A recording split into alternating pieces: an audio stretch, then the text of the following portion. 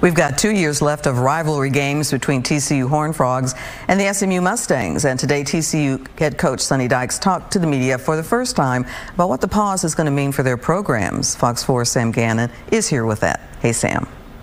Clarice, last year in his first season with TCU, head coach Sonny Dykes surpassed expectations, leading the Horned Frogs to a college football playoff berth and an appearance in the national title game. And he also had a Heisman finalist in that first year campaign as well. And while the landscape of the Big 12 will soon be changing with Texas and OU leaving for the SEC, there are new additions that will be coming to the Big 12. And as Dykes puts it, TCU doesn't plan on taking a step backwards. And unfortunately, that means putting a pause on rivalries like with his former school. The battle for the iron skillet between TCU and SMU will be put on pause following the 2025 season. With the college football playoff expanding to 12 teams in 2024, teams like TCU um, for, and also teams from Power 5 and Power 4 schools, they really can't afford to have non-conference losses.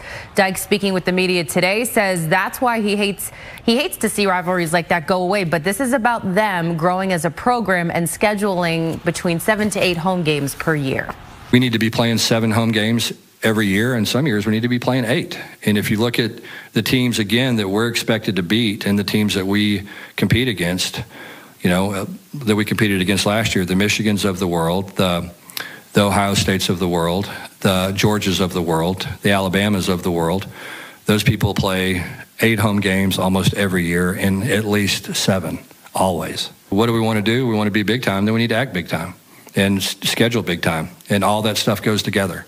And so it's really a simple, it's not a complicated thing.